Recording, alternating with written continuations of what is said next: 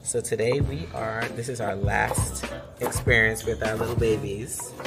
And we are doing uh, apple and green tomato tart. Green tomatoes are kind of like a hack if you don't have apples.